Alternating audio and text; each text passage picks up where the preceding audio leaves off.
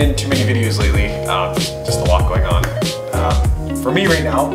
Um, but definitely you're gonna be seeing some more of me coming up here lately, or not lately, in the future, and just kind of bear with me. I, I'll be back, don't worry. Um, today I wanted to do a quick video for everybody on a really cool beer that I got uh, from my friend Patrick, Mocas Brewing Company. He was here this weekend. Um, bring another beer. Not gonna say what yet, I'll let Patrick announce that. Um, but it's gonna be really good. I'm looking forward to it a lot. Um, he brought me a couple beers, a bunch of beers, and the particular one that I have left over from that is this guy here. I've never had it before. It's from one of my favorite brewing companies, um, Twin Sails, and this is what we got. So I'm interested to this one. I'm not a lager guy. Um, to be honest, I don't appreciate a good lager. I just my style typically goes to ales, but that's you know that's just me. But this is called it's called Back to the Basics Hoppy Lager. Check out that can. Like the labeling from Twin Sails is absolutely epic. These guys do a killer job.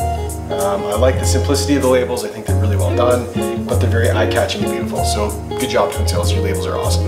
Um, I'm not, I don't know too much about this beer. Uh, it's a hoppy lager, is what it says. Water, barley, hops, yeast. That's what's in a beer. So I assume this is, you know, one of Twin Sails hoppy bombs. If they say it's a hop lager, I assume that they're gonna do something with it. Um, I'm pretty excited to try it, so let's check this thing out.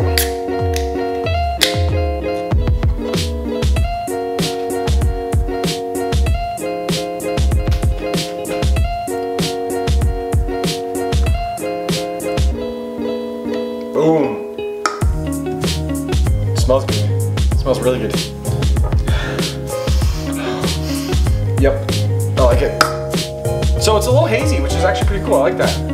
I don't like clear beers myself. It's not that I don't like them, but I, I just prefer beers that aren't filtered. Just I, I think there's a lot of flavor there. I, I enjoy that uh, in my beers. I think that's you know my preference. And so to see a lager like that is absolutely fantastic. Then again, everything Twin Sails makes is really good. Like I had their um, their IPA that was uh, their double IPA that was on Great Must, and then I had uh, a couple of the pale ales today, and they're just doing some really awesome stuff. So Twin Sails, um, yeah, good on you guys. Just check, let's check this lager out. This is the first lager review I've ever done. Odd.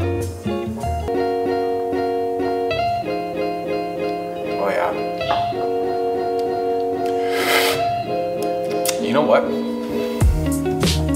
That's really good. It's fresh. It's, it's the malt. The malt profile is really good. Um, stands out a lot. Flavors on point. Super fresh. Um, I like the amount of hops that went into it. I'll tell you right now, this is definitely a lager that I could get behind and drink. Um, super refreshing. Just a really good beer. So Twin Sails, like, good job, you guys. This is this is really good. Can't wait to come check out the brewery next month, 21st of September.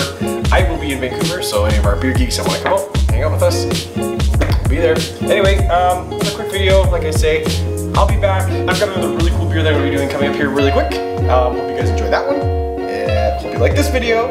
If you don't, tell me. But I don't really care if you don't like it. I'm doing this for me, man. Thanks for watching that video.